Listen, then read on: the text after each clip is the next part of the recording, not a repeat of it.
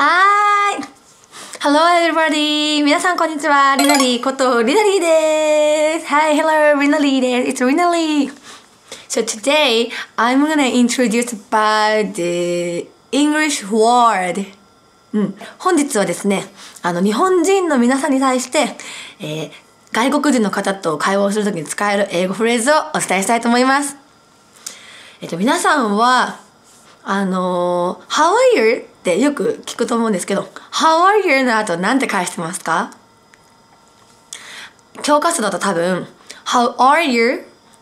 Um, I'm fine, thank you. And you? みたいな感じのフレーズをよく聞くと思うんですけれども、じゃあですね、このフレーズ、私も、まあの、が中学の時とか、それ勉強して使ってたんですけど、とっても。でも、私のこう友達と会話してて、誰も使ってないんですよ。How are you? Oh, I'm fine, thank you. And you? とかって言われたことなくって。じゃあ、ネイティブはどんな単語、どんな会話の、なんだろう、ワードを使って、こうワード選びをして会話をしてるのかっていうのをお伝えしたいと思います。私の How are you? の後に続いてリチャードさんの動画をお送りします。それでは、どうぞ。Oh, hey Richard!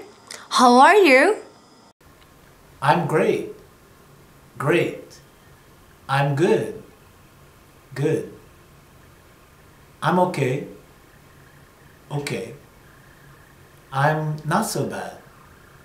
Not so bad. I'm not so good. Not so good. I'm terrible. Terrible. はい。というわけでですね、あの、リチャードさんが、これあの、ネイティブの How are you に対する受け答えの仕方っていうことで教えてくれたんですけれども、これ上からですね、I'm great! もうスーパー最高って感じですね。もう調子いいよみたいな。で、I'm good! ああ、いいよいいよ。うん。いい感じ。みたいな。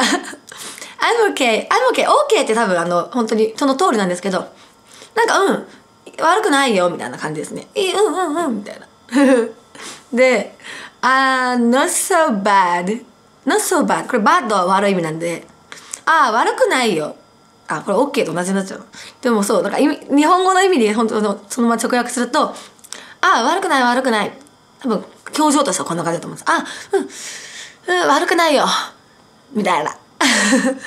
not so good. not so good は、良くないよ。良くない。つまり悪いになるんですね、もうこの辺から。ああ、ちょっとよく最近良くないな。なんかちょっとうだつが上がらないな、みたいな感じの日本語になるかと思うんですけど。もう調子良くないっていう感じ。で、I'm terrible. terrible はもうスーパー最悪。もう、え、ちょっとリナ調子どう？最近どうよ？って。最悪なんだよ。聞いてよみたいな時ですかね。I'm terrible. はい。というわけでですね、えー今回は、えー、4B English のリチャードさんとコラボレーションさせていただきました。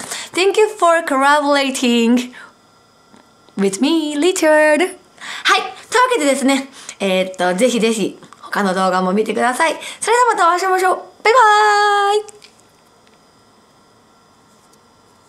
ーイうん